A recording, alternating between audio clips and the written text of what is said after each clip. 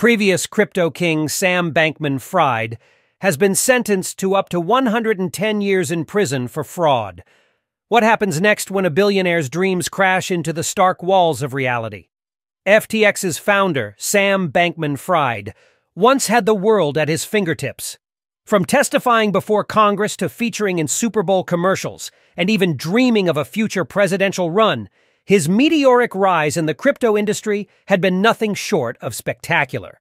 But as of Thursday, that dazzling ascent came crashing down as a New York jury convicted him of a massive fraud, costing investors and customers over $10 billion. How did one of the most promising stars in the cryptocurrency world find himself facing 110 years in prison?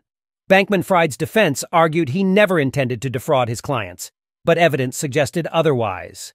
Was this all a simple misunderstanding or a calculated move to turn his customers' investments into his personal fortune? Up to $14 billion vanished, and as Assistant U.S. Attorney Danielle Sassoon noted, it appeared Bankman Fried had treated these accounts as his personal piggy bank. Did this scheme mirror the notorious Bernie Madoff's Ponzi scandal? A glance at the staggering figures might draw parallels. The scale of fraud perpetrated by Bankman Fried was reminiscent of the Madoff scandal that swindled investors out of about $20 billion. What caused this young visionary, who once lived in a luxurious $30 million apartment in the Bahamas dreaming of crypto domination, to falter?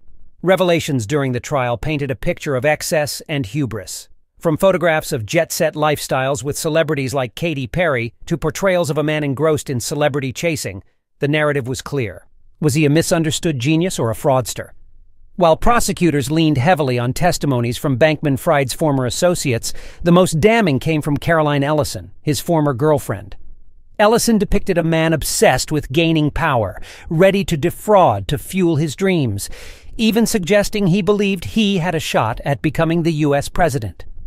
Amidst the courtroom drama, an emotional testimony by Ellison painted the end of the cryptocurrency empire as a sigh of relief a moment she no longer had to live a lie.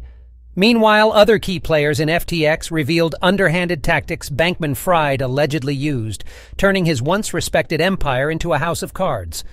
But why did it all collapse? Perhaps the crux of the downfall lay in Bankman Fried's unchecked communications. His numerous calls with influencers, journalists, and a fateful tweet promising safety for FTX's assets were his undoing. As customers scrambled to retrieve their funds, the empire crumbled and FTX filed for bankruptcy. In the court's closing arguments, Prosecutor Roos offered a stinging rebuke of Bankman Fried's wavering testimony, noting a stark difference in his demeanor during cross-examination. The tale of Sam Bankman Fried serves as a stark reminder of the fragile nature of trust in the financial world. When unchecked ambition meets reality, the aftermath can be devastating. As the crypto industry matures, let this be a lesson on the importance of integrity, transparency, and the age-old adage, not all that glitters is gold. Watch another video.